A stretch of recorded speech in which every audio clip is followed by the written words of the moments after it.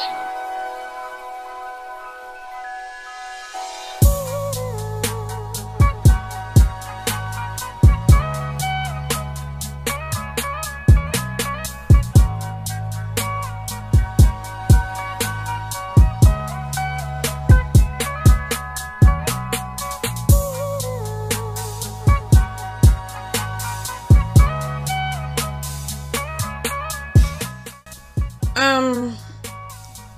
know you this here's child's father. The big gulp of juice I had just drunk came spewing from between my lips. Eve erupted in laughter from where she sat in her high chair eating her breakfast. Wow, I mumbled as I grabbed the roll of paper towels to clean up the mess that I had made. Um, I'm so sorry about that. Um, here, let me let me get this cleaned up. I must have swallowed my juice wrong. With desperate eyes, I looked back toward the kitchen door for Monica. Mm-mm. Don't try to look for your little professional liar. This here just you and Nana talking now. The shrewd old woman said from where she calmly sat stirring her coffee across the table from me, as if she just didn't rock my world. Eve picked up her sippy cup and took a swig of her juice before spitting it out of her mouth like she had just saw me do. But instead of it projecting like she'd hoped, it ended up just dribbling down her chin. I chuckled because, you know, that was kind of funny. Don't do that, sweetheart, I told her, putting way too much attention into cleaning her up. I ain't gonna lie, I was at a loss for how to respond. Nana had waited till Monica left the room and sucker punched me. Come on, Kayla. Come on, man, talk to me. You can do it, baby. Oh, man, damn, Monica. I was at a loss. I didn't know what to do. Eve began to whine because she was waiting for me to stop wiping her mouth so that she could spit her juice out again. I cleared my throat. Um, I don't I don't think I know what you mean. Sure you do. You see, my grandchildren have always thought me to be too slow to keep up with their mischief. But I took you for a smarter man. Surely you know it's futile to try and pull the wool over my eyes. This here child look just like you. And if you and Monica think I don't know what's been going on between the two of you in my own house, you're delusional. As delusional as you think I am. She held up her hand.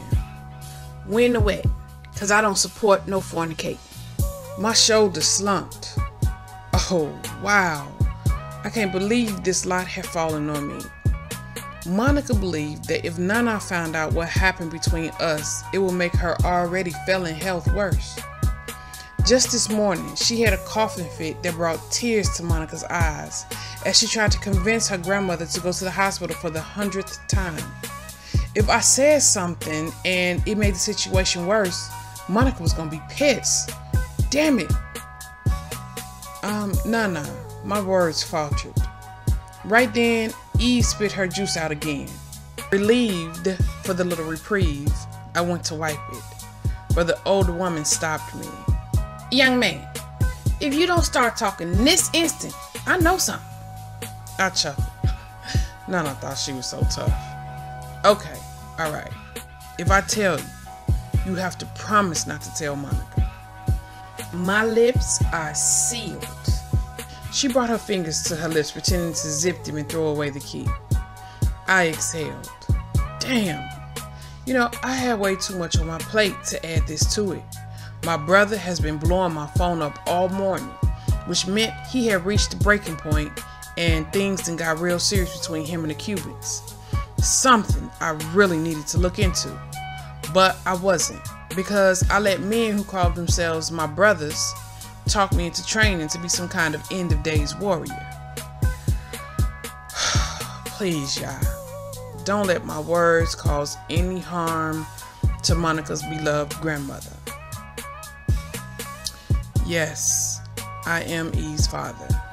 She hit the table with her hand. I knew it. Mm-mm. I knew it when you first came through that door.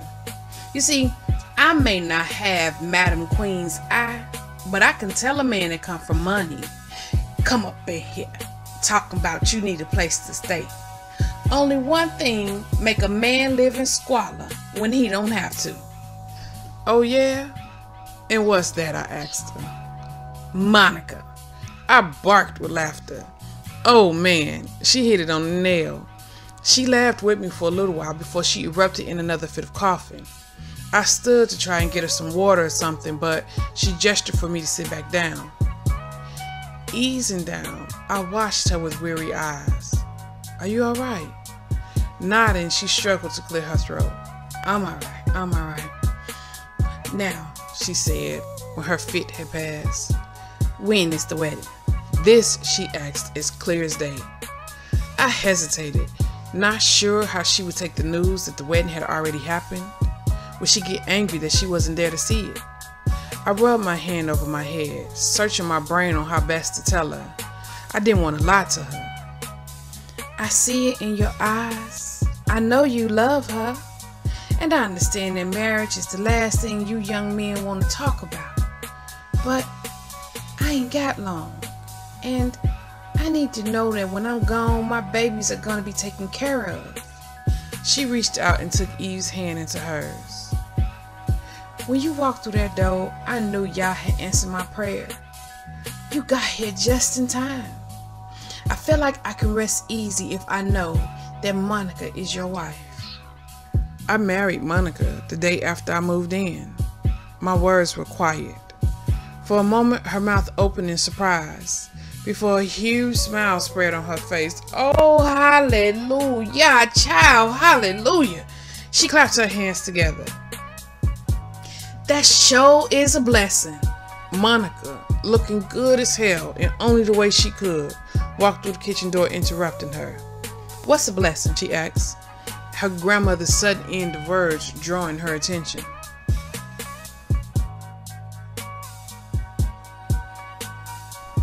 Hold it right there, young lady, Nana said instead of answering my question. What do you think you're doing with those tools? You see, I woke up this morning on a mission, y'all. I had put the repairs I needed to make around the boarding house off for as long as I could. The upstairs plumbing was the squeaky wheel, and it was time for me to go and get in it.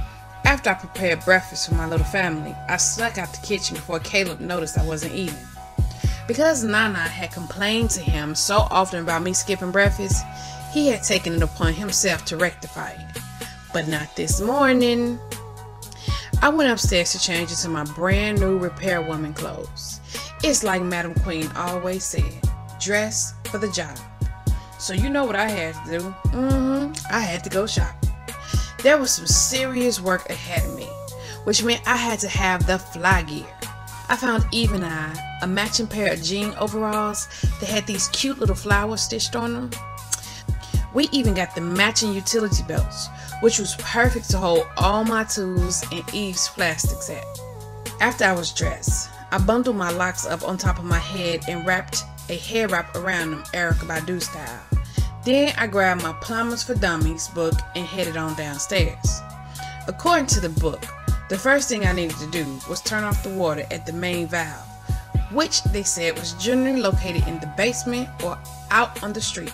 I was on my way to check the basement first when I interrupted my Nana and Caleb's conversation that she so cleverly switched subjects when I inquired about it.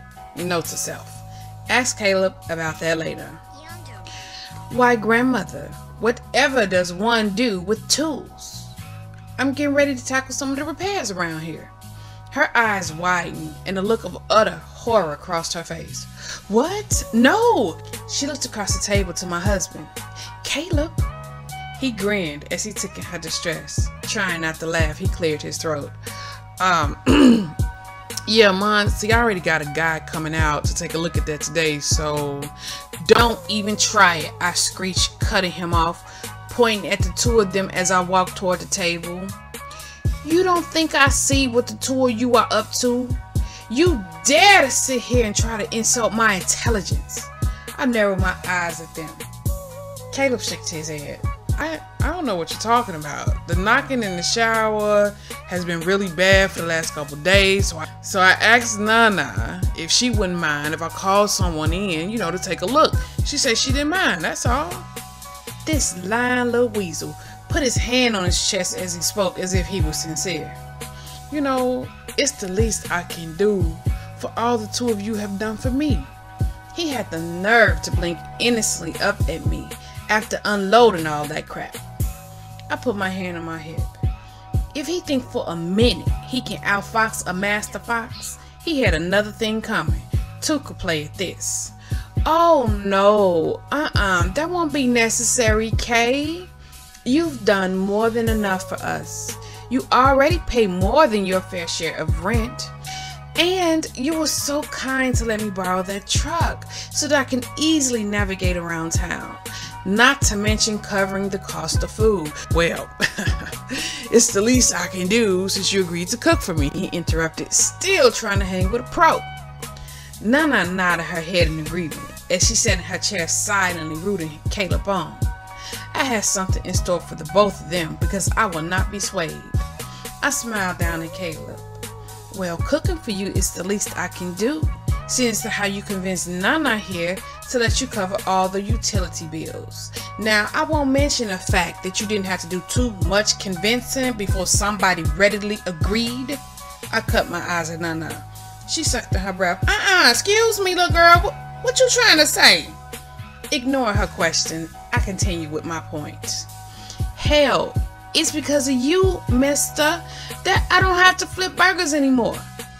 And as your landlord, it is my duty to provide the best living experience for you. You said those pipes are banging.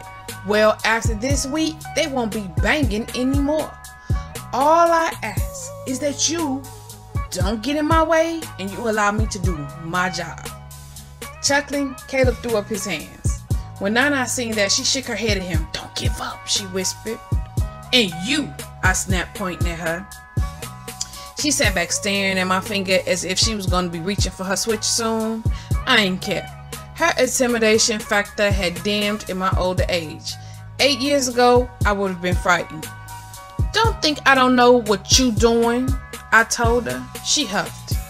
I don't know what you talking about. You know as well as anybody that I've been looking forward to this project. I have read so much study material, I feel like a pro.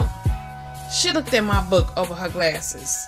Um, plumbing for dummies, she said dryly.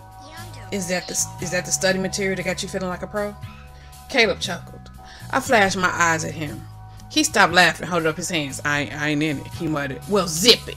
No cheerleading from the sideline. He nodded. You got it. I held up my book. This book was written for dummies. So can you imagine what happens when somebody with my intellect reads it? Must I remind you that I was my class valedictorian? You know why, Nana? She ignored me as she brought her coffee to her lips. Mm-mm, don't worry, you you ain't got an answer. I'll tell you anyway. It's because I was the smartest student of my graduating class. One does not gain that title unless they possess the capacity for abstract thought. I pointed to myself. That's what you're dealing with. Brilliance. Now, if the both of you naysayers will excuse me, I have some pipes to repair. Then I proceeded to leave the kitchen with an exit that would have made Madam Queen proud. However, by Tuesday, I was in desperate trouble.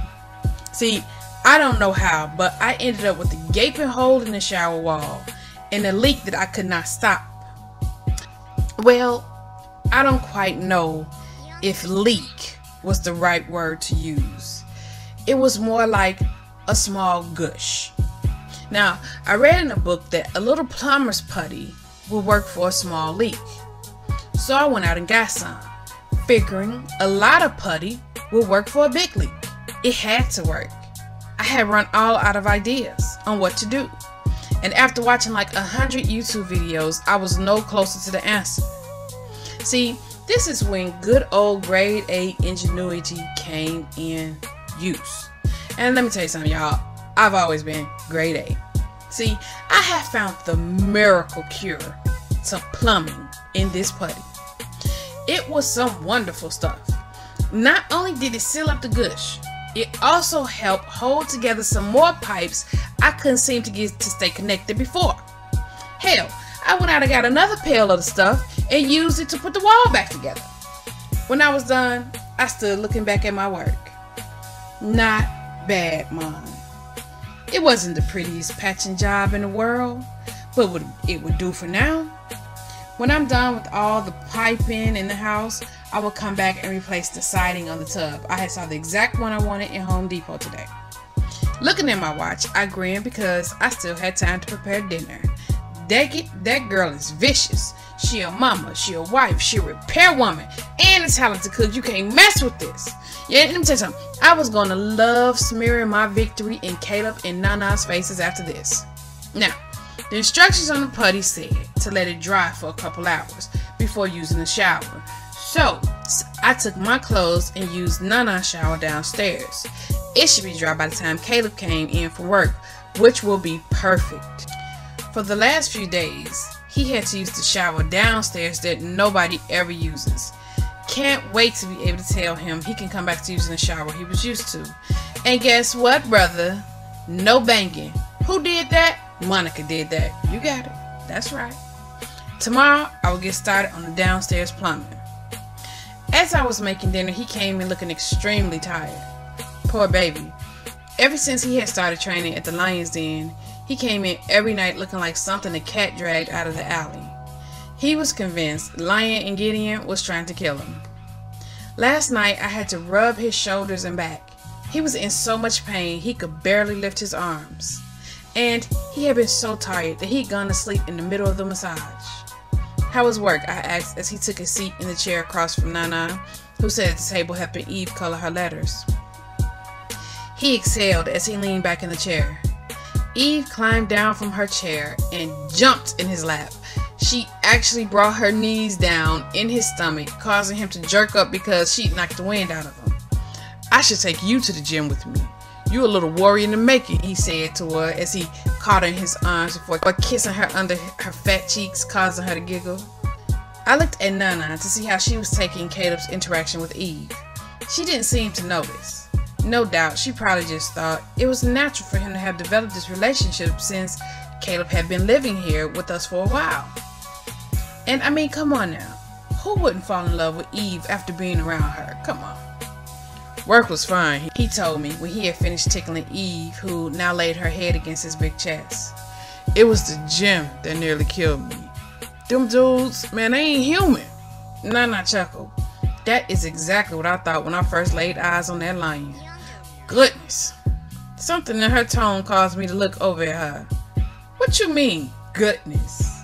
Mm-mm-mm. Nana was in here being fast. Child, I ain't blind, was all she said. I slid my pan of fish in the oven. Cause see, I had waited long enough to get my gloating session on. It was time. Uh, now that I have the both of you here, I have an announcement to make. They both gave me their full attention.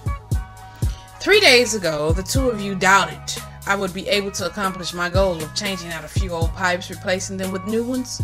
Isn't that correct? Neither of them answered, but you know what? I didn't expect them to. Haters never did. No need to answer. I'd just like to let the both of you know that the upstairs plumbing is complete. And I will be starting on the downstairs plumbing tomorrow. So Caleb, feel free to shower anytime you like. A grin spread across his face. oh yeah? So I can I can go shower real quick before dinner? I gestured toward the door. Be my guest. It'll be the best shower you've ever taken.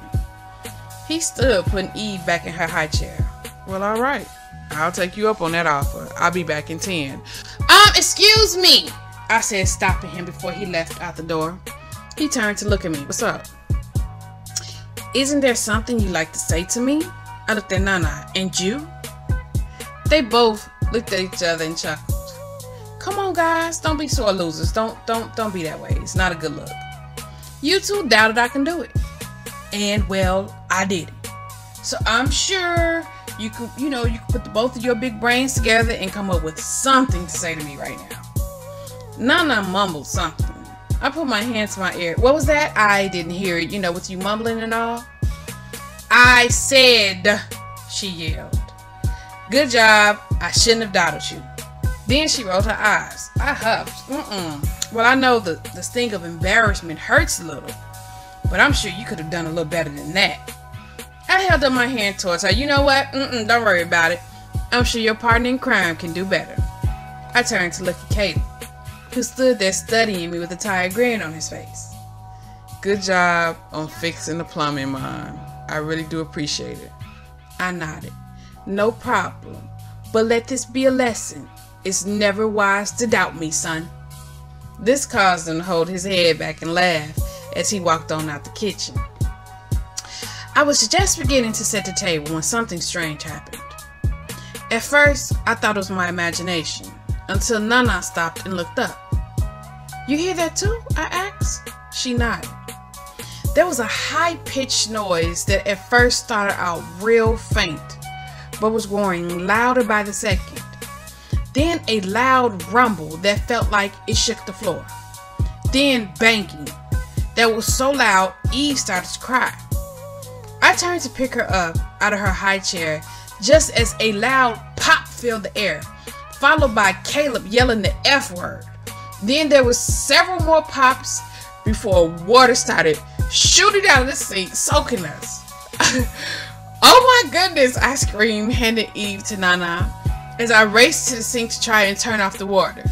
It was shooting up so fast and hard that I couldn't even get my hands on it. Get a bowl, Nana yelled.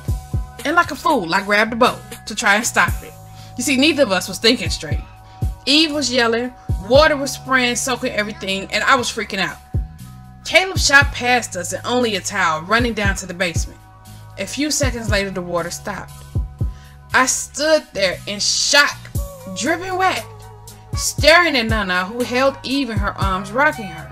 When Caleb came back upstairs, he just stood there in the doorframe, staring at me with only a towel wrapped around his waist. His ripped abs and muscles, chest on full display. My, my, my, Nana muttered when her eyes landed on him. I put my hand over my mouth as I stared at him. He was steaming mad, and I'm pretty sure it had something to do with the nice sized lump he now sported on the side of his forehead. Is everybody alright? He growled, without taking his angry glare from me. Yes, we are right.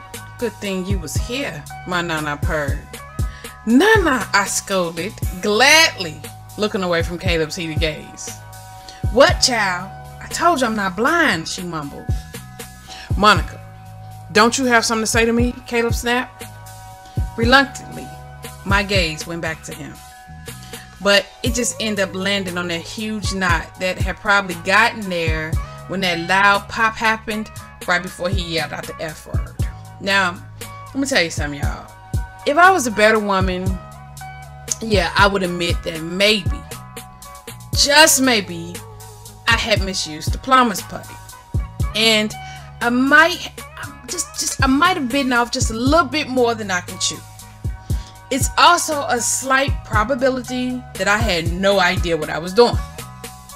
But because I was a sore loser and I had talked entirely too much stuff to turn back now, I decided to try and reverse some of the shade he was throwing my way. Yeah, I yeah, I, I do have something to say to you, I muttered. He grunted, folding his massive arms, causing his chest muscles to do all kinds of sinful things that was probably making poor Nana feel like she was menopausing again. Good. Speak up so that so that we can hear you clearly. He angrily returned my words to me from earlier. I cleared my throat before I put my hand on my hip. My nana started shaking her head, knowing me so well. Why the hell you carry your big butt up there and mess up all my heart? Why the hell you carry your big butt up there and mess up all my hard work? I didn't even finish my sentence before he charged at me. And honey, look, I ain't never been nobody's fool. You would have thought I was on track and feel how fast I made it through that living room and out that front door, baby. Okay, so plumbing, you know, plumbing didn't work out. The plumbing didn't work out. Hell, I can't be good at everything. Nah, let me stop tripping because see, I had managed to do some serious damage. And I feel so bad. Caleb got a crew in there and they worked around the clock to restore our water. After that, you know, he got another crew in and they began to make other repairs that the boarding house really needed. Because I had messed up, and I do mean real good, he had no troubles out of me, okay? He told me he didn't even want to hear my opinion. And well, hell, what could I say to that but okay? Now, Nana told me she overheard him talking to the plumbers and that they were telling him how outdated the pipes were. She said he had told them to run new pipes throughout the whole house. Now, I don't know how much that costs, but I know it's a lot. The boarding house was huge eight bedrooms, four bathrooms, two downstairs, and two upstairs. There was a bathroom in the master bedroom that I never used because we had shut the plumbing down way back when I was a little girl. So now I just used it for storage. However, it was now being renovated with the rest of the house. This had to be costing him a fortune. He'd even taken Nana old car to his shop. I found this information out one day after I had come in from the center. Now that we were rehearsing for Madam's end of the year show, we met three times a week instead of once. Anyway, I come in and I plop down on a couch tired, and the ever present sound of drilling and pounding of the contractors greeted me as I entered. Nana was sitting in her chair as happy as a kid in a candy store. What are you so happy about? I asked. Caleb is fixing up Bessie for me. Bessie is she'd given her Monte Carlo that she purchased new off the showroom floor in 1976. He said it's a good car and had a lot of potential. I told him that I didn't drive much anymore, so he told me he's gonna take me for a ride when he fixed it. She clapped her hands together. Isn't that wonderful? I stared at her as if she'd lost her mind. I didn't even know who this woman was. My nana hated asking folks for stuff, and she really hated being a burden on people. Caleb was completely renovating the boarding house, doing way more stuff than I would have approved of. But since I had promised both him and Nana I was I would stay out of it, I hadn't said anything about it. But this, this was just too much. How much are you going to allow this man to do for you? She didn't even blink an eye before answering my question all that he wants because I know he's really doing it for you and Eve. Okay, not what I was expecting her to say. What the world did she mean she knew he was doing it for me and Eve? Oh my goodness, did she know I had lied to her? I studied her, trying not to show how rattled her statement had just made me. What does that mean? I asked because I was just too trying to try and guess. Sometimes I felt like my nana played head games with me. It means when I go, I will be at peace knowing you and Eve have a solid roof over your head and not one that leaks. Her words angered me. Why do you say stuff like that? Stuff like what, Monica? When I go, I go in peace. She laughed. You do know that one day I'm going to die, right? I put my hand over my ears, trying to block out her words. I didn't even want to think about that. Nana and Eve was all I had left of my blood family. The thought of losing either one of them was incomprehensible. You're not going anywhere. And you should stop saying stuff like that because words have power. I need you here with me. I can't make it without you. It took everything within me not to yell those words at her, but she was breaking my heart and my emotions were unstable. You will be fine when it's my time to go. I've lived my life, child. You have to live yours. I jumped up off the couch, cutting her off. Don't get comfortable with that idea. I won't be just fine if you die. I will go crazy because I ain't got no sense. So you see, I need you here with me because it's you that keep me sane. I turned and took the stairs up to my room two at a time. I don't know why, but my grandmother's words made me feel like weeping. I needed a distraction. It was time to call Contura and Shantae. Hey, shalom, guys. Just really quick, I have a few announcements to make.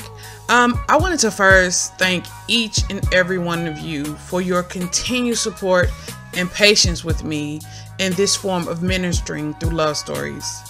I wanted to tell you guys about my two new YouTube channels.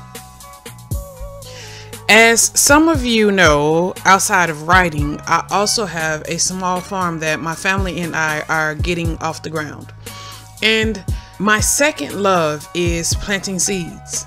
I have been saying for a while now that I was going to start a gardening channel so I can bring you guys along with me on my journey to achieving an all organic, self sustaining garden.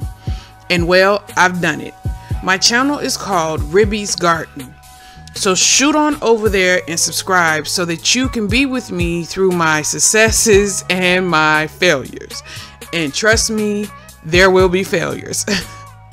also, Many of you may not know that I write under another name, author Edwina Fort. Under this name, I am working on my first book for sale called Redemption. To be released, Yah willing, April 16th, 2018. So that's April 16th of this year, family. This is Gabriel and Yasmin's story, y'all. The Redemption series is about some of our warriors that we've all grown to love and admired who married before they came in the truth. So brace yourself. Some of these king were rough, thus the name Redemption. If you go to my YouTube page, author Edwina Fort, and subscribe, there is a link to my website on that page. Click on that link and go to the free read tab of the Author Edwina Fort website. Follow the steps and sign up to my mailing list. Then check your inboxes for a free sample of redemption. You are not going to want to miss this. I have already been told that this book is off the chains. To get a shortcut to both of those web um, YouTube pages I just told you about, if you go to the Hebrew Griot homepage, you will see on the side where it says My Peeps, and I have a direct link to both of those YouTube pages, as well as the Project Wake Up Jacob page, which is just packed full of information for the Hebrew mind, full of information. I also have a link to my sister Akoti Tamar's page, YouTube page, and she's vicious on that poetry, y'all. I call it food for the Hebrew soul. Food for the Hebrew soul. That's some some good poetry. Go go ahead and show some love and support those pages, y'all. You know, these people out here doing the work for the Hebrews, just putting in their work. Um I would also like to thank Akoti Rebecca. This is a special thanks to my sister Rebecca. I don't know how many of you guys know, but she hosts the Hebrew Griot Listening Hour that happens every Sunday on Facebook in the Hebrew Griot Book Club at 6 p.m. Central Time guys if y'all haven't signed up and for the hebrew griot uh, listening hour you missing out we get together and we have a good time but I like to thank that Akoti because she putting in work for you know for this ministry, and also I don't know if anybody looking for graphic designs, but she's she's also um, did some graphic designing work for me. So go ahead and support that sister. She putting in you know she putting in them hours for this ministry. I also like to thank Akoti Tamar and Maish who are also putting in mad work for this ministry, y'all. This just don't happen. And trust me, if we was depending on me to do it by myself, we'd all be in trouble. But this don't happen by itself. They put in that work, and I thank Yah for them because with their help, we make this thing happen. All right, fam, that's all I got. Um, I pray y'all have a blessed day. Shalom.